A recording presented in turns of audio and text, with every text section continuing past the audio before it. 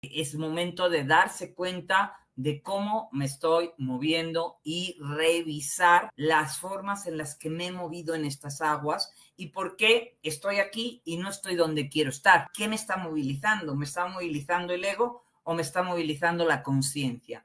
Porque el ego y la conciencia están disociados, porque el ego está haciendo el personaje y te mantiene en la mente y en el ruido mental y en la loquera todo el tiempo y hace muy bien su trabajo, la verdad es que lo hace muy bien. Y te siempre te pone pretextos y trabas para que tú no te honres a ti mismo, para que tú no expreses tu verdad, porque vas a sentirte ridículo, porque vas a ser no sé qué, te, siempre te está así como alimentando todos tus miedos, ¿no?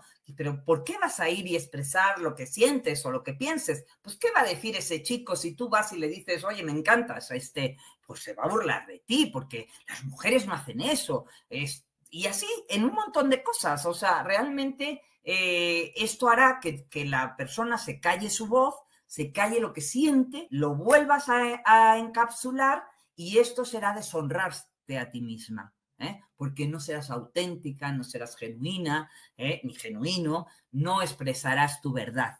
Esto, bellas almas, es justamente lo que en estos momentos se va a poner cada vez más sobre la mesa.